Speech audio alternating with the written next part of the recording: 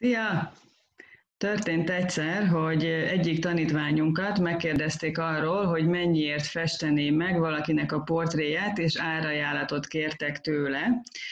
És végül a megrendelő ezt az árajánlatot ő sokalta, és nem köttetett meg így ez a megállapodás. És tudjuk azt, hogy nem csak ez az egy tanítványunk jár ilyen cipőben, hogy hogy már ott tart az alkotásával, hogy, hogy vagy az, hogy árajánlatot kérnek tőle, hogy mennyiért festené meg ezt vagy azt a képet, vagy konkrét képet megfestett már, és ismerősök szeretnék megvenni tőle.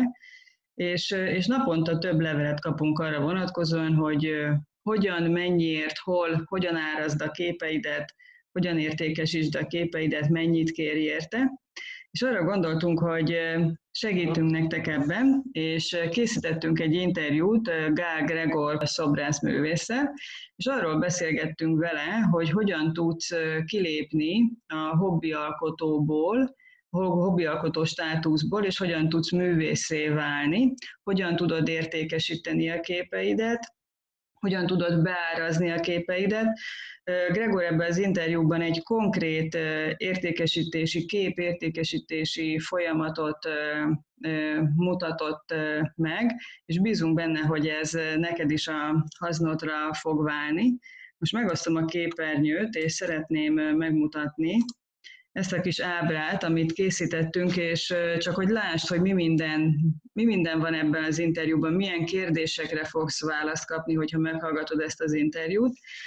Ugye sok-sok évvel ezelőtt innen indultatok az átlagember, aki még nem tud rajzolni, vagy csak pálcika ember tud rajzolni, és nagyon sokan vagytok már, ugye több tízezren vagytok, akik már ezt a hobbialkotó státuszban vagytok, ismeritek a rajz és festőtechnikákat, és, és lassan-lassan kikacsingatnátok ebből a hobbialkotó státuszból, és szeretnétek művészé válni, sőt, sokan már elmondhatják magukról tanítványaink közé, hogy, közül, hogy valóban művészé is, vál, művészé is váltak.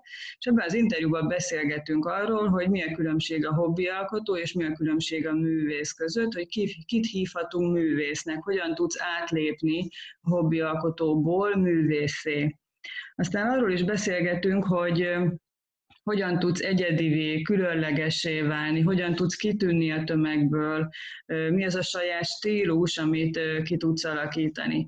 Beszélünk az elismerésről, ugye a, a művészetet is, a művészeket is azt gondoljuk, hogy háromfajta elismerése van. Van egy erkölcsi elismerés, amikor, amikor az ismerősök lájkolják, tetszés nyilvánítanak a képekre, ugyanakkor van egy szakmai elismerés, amire talán a művészek a legjobban vágynak, és nyilván van egy anyagi elismerés.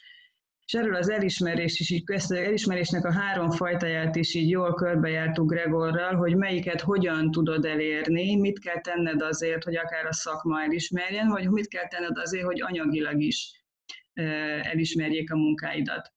Arról is beszélgettünk, hogyan tudsz népszerűvé válni, akár itthon Magyarországon, akár, akár külföldön. Jó, hogy mi a, mi a különbség a, a sikeres művész, mi a különbség a népszerű művész között, hogy hogyan árazd a képeidet, milyen szempontok alapján árazd a képeidet.